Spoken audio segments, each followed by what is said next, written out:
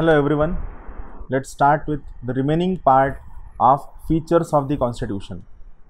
Next feature is Indian constitution is a synthesis of parliamentary sovereignty and judicial supremacy. Before going in details of this topic, I would like to clear one important thing. We have taken the feature of parliamentary sovereignty from British constitution and the principle of judicial supremacy from American constitution this is very long topic. We need to deal it with in a very detailed manner in a very analytical manner. So we'll study this topic during uh, basic structure of indian constitution. I will be making a separate video to study the basic structure of indian constitution. During that video i will try to explain you the meaning of this point that is uh, synthesis of parliamentary sovereignty and judicial supremacy uh, before that from prelims point of view remember america there is a principle about judicial supremacy. In britain there is parliamentary sovereignty. India has synthesis of both these two things. That is indian constitution is a synthesis of parliamentary sovereignty and judicial supremacy. Next very important feature is India has an integrated and independent judiciary. Judiciary is one of the most important pillar of the government. Judiciary protects our constitution. One important line is there. In case of India, judiciary that is Supreme Court is defender as well as guarantor of the Indian constitution. This remember this thing. Indian constitution is defender as well as guarantor of the Indian constitution. We'll try to understand these two terms in simplified manner in later lectures. So here we'll try to understand this topic somewhat in detail. Now see, we have single system of courts for both center and state. It has been explained through a diagram.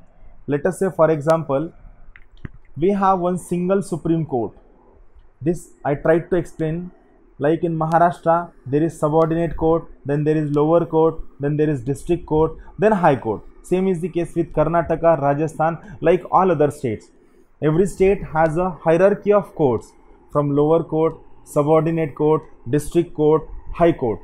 Now appeal from the high court of every state goes into the Supreme Court, right? So appeal from every high court goes into the Supreme Court. It means that cases from all these states, high courts, have been integrated at the central Supreme Court. This is the important point which I want to underline. This point shows we have an integrated judiciary.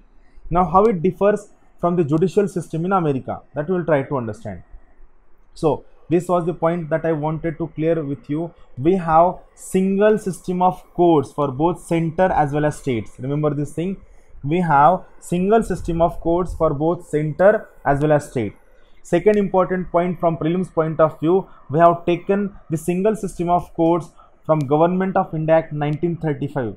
Remember the first lecture, therein I told you that most part of the Indian constitution has been taken from Government of India Act 1935. Almost 60 to 65 percent part has been borrowed from Government of India Act 1935.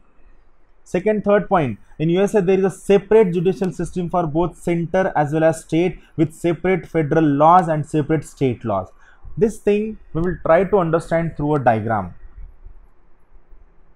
See, this is a judicial system in America like Texas, Arizona, and New York.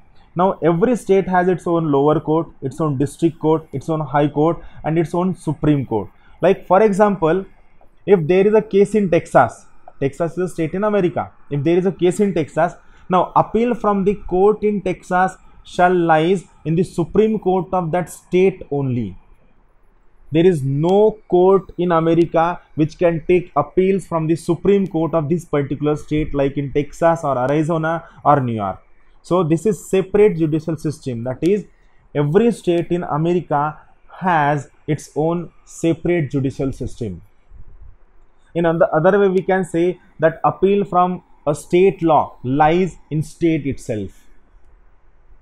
It do not go to any federal court. But at the same time in america there is a separate court which is, there is a separate highest court which is also called as federal court of appeal. Now one thing i want to make it very clear. This federal court of appeal do not take cases from the state supreme courts. Federal court of appeal is mainly concerned with the cases of constitutional interpretation. It is mainly concerned with the cases of that uh, like there is a federal court of appeal. Yes it is written over here. In usa there is a federal court of appeal. This federal court of appeal do not take into account the cases from supreme court of the states. It takes into account the cases related to interpretation of the constitution or federal conflict only. A state case is resolved in the state only. Every state has its own supreme court. Remember this point very clearly. So from prelims point of view you should remember two important words. In india there is a single judicial system for both center as well as state. In usa there is a separate judicial system for center and state. This is important point. We have independent judiciary. This point we will see in judiciary chapter in detail which features of the constitution reflect independent judiciary. Upsc frames a question. Upsc gives you certain features of indian judiciary and asks which among the following features reflect that we have independent judiciary. So this point is very very important from prelims point of view as well as you have to keep all features of independent judiciary in mind while answering your questions in interview. Now next important point fundamental rights. See uh, we are going to study the topic in detail during the chapter on fundamental right. Here i will give you just brief ideas brief factual things about fundamental rights First thing, fundamental rights are given in part 3 of the Indian Constitution. Fundamental right promotes political democracy. It is justiciable part of the Constitution. It means whenever fundamental right is violated, you can approach Supreme Court directly under Article 32 of the Indian Constitution. Now, why this point is important? Now, to understand this point, just I want to take you uh, somewhat Uh, uh, to some previous points. See, when we try to make a definition of Supreme Court, you have to remember one thing. Supreme Court is primarily a court of appeal. It means if 100 cases goes to Supreme Court, most of the cases in the Supreme Court are appellate cases. That is, it means they are appeal from various high courts of the various states. But in case of violation of fundamental right, there is no need to go through appellate route you can approach directly to supreme court under article 32 or you can approach directly to high court under article 226 these two articles makes it justiciable part of the indian constitution. So remember fundamental rights is a justiciable part of the indian constitution. One other important point why these rights are called as fundamental rights? What is the reason? So the rights in the constitution which are protected by fundamental law of the land are called as fundamental right. So the rights given in part 3 of the constitution are protected by constitution under article 32 so the rights given in part 3 of the indian constitution are called as fundamental rights. Next important point that is directive principles of state policy.